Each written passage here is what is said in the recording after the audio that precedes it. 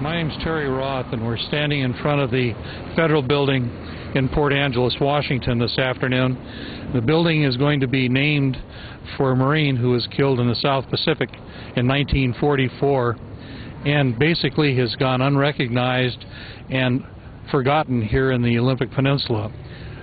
Richard Anderson was the only Medal of Honor recipient from World War II to come from our area.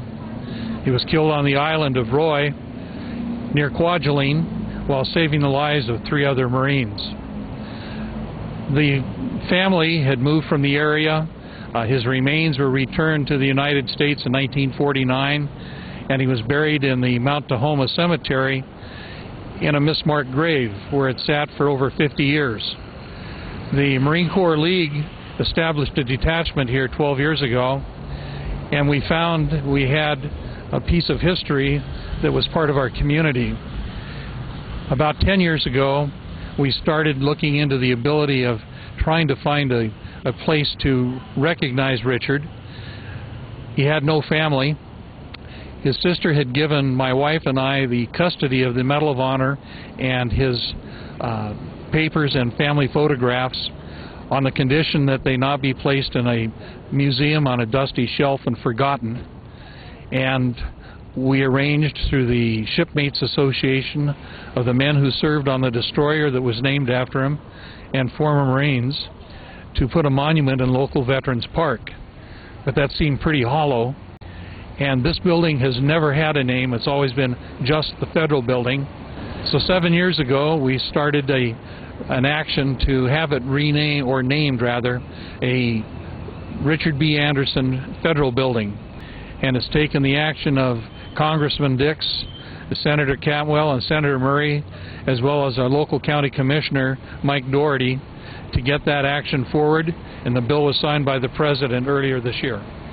The ceremony today will be to formally name the building in Richard's honor and to acknowledge the sacrifice that he made in 1944. He saved the lives of three other Marines. Lieutenant Solomon was later killed at Saipan, and Sergeant Kennedy was lost at Iwo Jima. Sergeant Pierce survived both Iwo Jima and Okinawa and went on to live a complete life, and he lives in Manhattan, Kansas today. By saving the lives of those men, he allowed their leadership to be passed on to other Marines that were just coming into combat, and that's why he received the medal. He sacrificed himself to save three of his fellow Marines. The ceremony today is a formal acknowledgement of that by the federal government, uh, the action of the president, and we have representatives here from the county and the city to once and for all uh, recognize a man who was lost over 60 years ago. All right, first medal is the uh, Asian Pacific Campaign Medal. It's issued to all the troops in the Pacific. The second medal underneath it is the American Defense Medal. And to the right is his Marksmanship Medal. And below that is a Purple Heart. Even though he was killed, the Purple Heart is issued. And it's the uh, oldest medal in the United States, starting with George Washington and the Revolutionary War. The medal in the center is the Medal of Honor. There are three types of medals of honor. This is the one that's issued to the Marine Corps and the Navy with the anchor on the medal. The medal is suspended by it and not by a ribbon by itself. Below it is the Purple Heart ribbon, and to the side is the uh, gold star, which would have been worn by a family member, uh, indicating um, the serviceman had been killed in the uh, in action. As I said, my name is Terry Roth, and I've lived here in Clallam County for the past 38 years. I moved back to the Northwest to raise my family in this environment. I'm retired from the Clallam County Sheriff's Department as a sergeant, and I joined the Marine Corps League when we started to form this detachment 12 years ago. We wanted to name it after a a honorable or a memorable Marine, and we found that Richard Anderson was hidden in our past. Through our search, we found his sister, who was alive and living in Lynnwood at the time, Mary Roderick Anderson. and we asked if we could name our detachment after Richard.